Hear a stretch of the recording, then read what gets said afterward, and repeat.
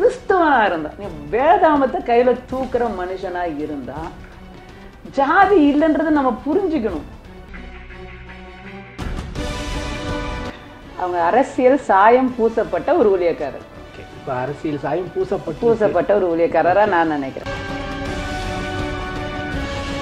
Okay அப்பா இந்த விஷயத்த அவருடைய வாழ்க்கையில செய்யாம இருந்தா அது உண்மையாவே ரொம்ப நல்லா இருந்திருக்கும். நான் எதையாவது வேண்டான்னு சொன்னேன்னா அது ஆண்டவர் அதை செய்ய வைக்கிறாரு. அதனால இந்த இதுல நான் ஐம் பிளேயிங் இட் சேஃப் ஆண்டவருக்காக நான் இதை ரொம்ப சேஃபா ப்ளே பண்றேன். எப்பயாவது அப்பா வந்து நமக்கு ஒரு மகன் இருந்தால் நல்லா இருந்திருக்குமே அப்படின்னு ஃபீல் பண்ணிப்பாரு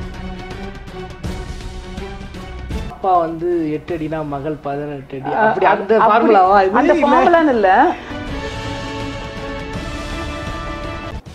நீங்கள் அரசியலுக்கு வருவீங்களா நீங்கள் அப்பாவுடைய அடையாளத்தை அதாவது சிறுபான்மை தலைவருக்குன்ற விஷயத்தில் நிற்பீங்களா twenty fifth August Saturday night at seven PM exclusive interview with reverend Kathiroli Manickam versus pastor Justin சீதிமோத்தி please do watch don't miss it